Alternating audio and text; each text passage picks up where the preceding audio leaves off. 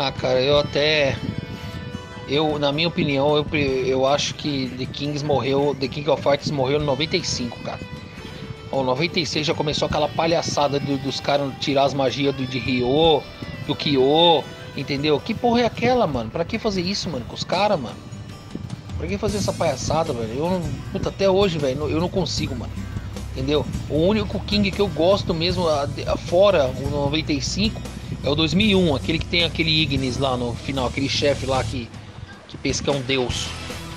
E lá é, aquele é foda, mano. Aquele King eu gosto dele pra caramba, mano. Aquele King, o 2001, eu só gosto dele. 94, 95 e 2001. O 2003, cara, aquela nojeira, o King mais nojento de todos, cara, eu acho, cara. Pô, nada a ver, velho, que os caras iam trocando na tela igual Marvel's Capcom, gráfico tosco, velho. Os efeitos sonoros ridículos, velho. Vai, bagulho muito suado, cara. Mas eu, eu prefiro 94, 95. Né? Se tivesse um King naquele estilo lá até hoje, mas infelizmente a gente sabe que isso não vai ter. Agora me faz esse King of Fighters 14 ridículo aí, com um elenco lixo, né? Com um elenco lixo. Tem uns personagens ali que, pelo amor de Deus, cara. Pelo amor de Deus, o que, que é aquela porra daquela Silvia e Paula Paula? Velho, tem uns bagulho muito, muito infantil, velho. Muito infantil. Não dá pra engolir não, velho.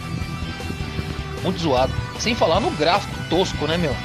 Sem falar no gráfico tosco que é de, de, de, de, de plástico. Parece que os bonecos de plástico, velho. Zoado, cara. Eu não curto não.